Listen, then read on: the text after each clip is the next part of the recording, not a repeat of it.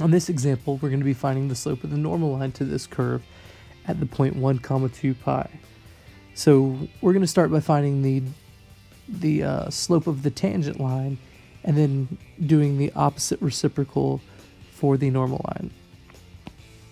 So a normal line is perpendicular perpendicular to the tangent line.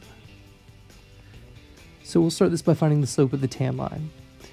That means we're finding the derivative. And when I'm doing the derivative, I realize that this is a product. It's a function x squared times function y. So I'll label that f, I'll label that g. And I know when I'm doing my derivative, I'll start with a little fig plus gif action.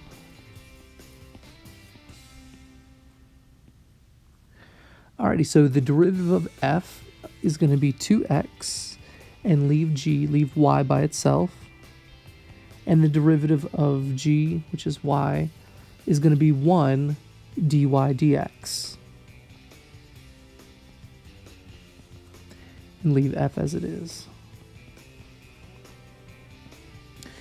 And then the derivative of sine y is going to be cosine y and because y is a function, we have to multiply by the derivative of that, which is dy dx. And then the derivative of 2 pi is 0. So what we have here is 2xy plus x squared dy dx plus cosine y dy dx equals 0. So let's solve for dy dx. That starts with moving the 2xy to the other side.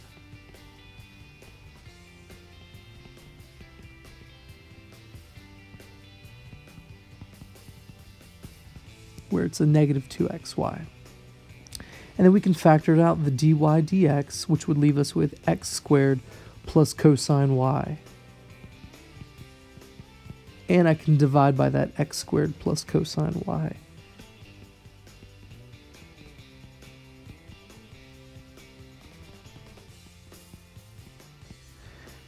All right, and now I can plug in my x and y so 1 for x and a 2 pi for y. So a 1 for x, a 2 pi for y.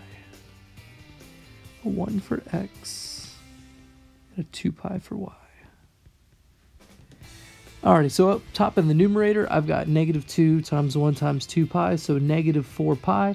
And in the denominator, it looks like a 1 plus cosine of 2 pi and cosine of 2 pi is totally 1.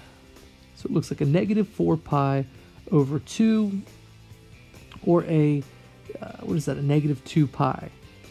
Now I did want the uh, uh, normal line, so if the slope of my tangent line is equal to negative 2 pi, then the slope of my normal line is going to be the opposite reciprocal, so positive 1 over 2 pi.